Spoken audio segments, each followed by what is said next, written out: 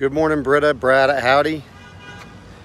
Well, Radiant Red EX CRV. About to head into that for a shower and there for the detail.